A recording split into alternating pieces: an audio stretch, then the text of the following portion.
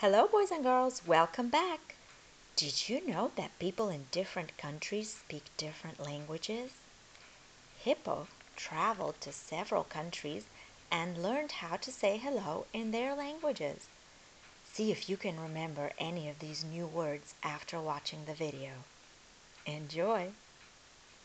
How Hippo says hello. When Hippo says hello, hello, he says bonjour in France. He says Privet in Russia. He says Assalamu alaikum in Egypt.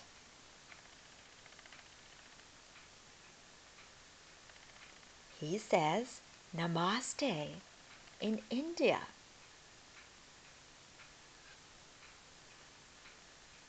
He says Ni hao in China.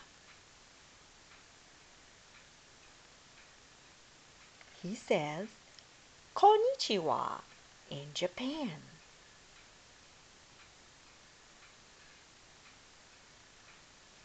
He says Hola in Argentina.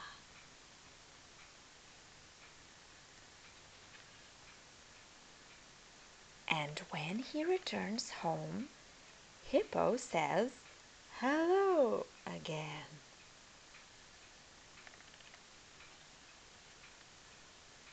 And here is a world map that shows all the destinations that Hippo went to.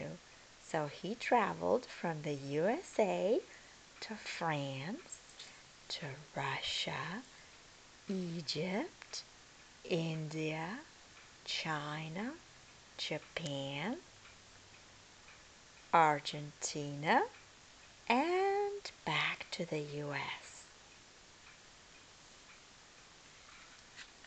Do you remember how to say hello in Russian or in French? If not, watch the video one more time. I hope you enjoyed this story. See you next time. Bye.